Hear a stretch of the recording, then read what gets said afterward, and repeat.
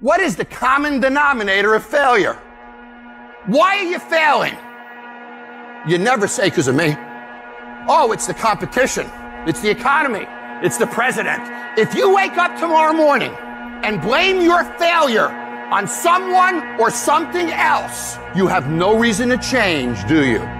But if you woke up in the morning and looked in the mirror and said, I am failing because of me, the decisions that I make, the energy I put in. I'm not passing the blame. If you look in the mirror tomorrow and say that, you will change. Because nobody likes thinking of themselves as a failure. You must be very intentional and deliberate. You're not going to wake up one day and find a law degree. You're going to have to work for it. And your problem is you wake up on Monday and you might be strong, but by Wednesday, you're not intentional and deliberate. You are hoping that the best is going to happen to you, and the best never happens to you.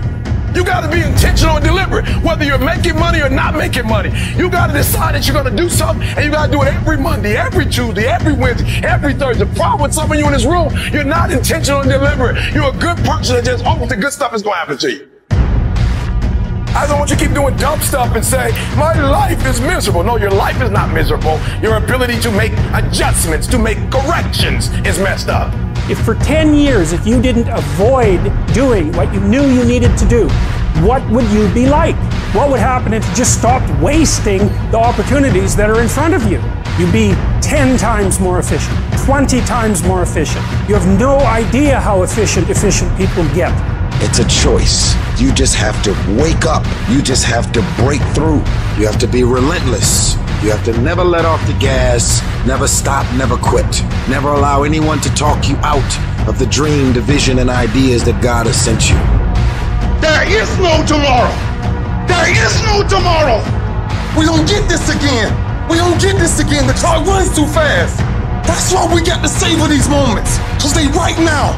Take advantage of today. Tomorrow might not exist.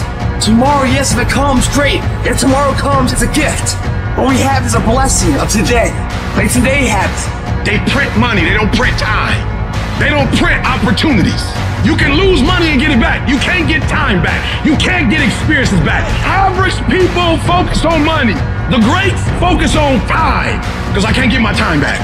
And you're too slow. You're too casual. You think too much. You need to get in a hurry. The separator is going to be who takes massive action quickly. Every action has an equal and opposite reaction. One action will be sitting on the fucking couch, stagnant.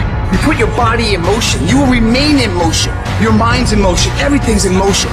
And when everything's in motion, what happens? You give birth to new opportunities. You keep negotiating the price you're paying. Man, all the work I'm putting in, it's not paying off. I don't see my family as much. I gotta do all this. You start negotiating it all the time, and it's sapping all your damn energy. Successful people don't negotiate price, they negotiate worth. Could this be worth it to me to pay this? And once you decide it's worth it to win, it's worth it to be somebody, the negotiation stops.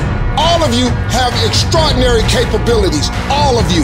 You have to decide if you are willing to do the things to put you in that category.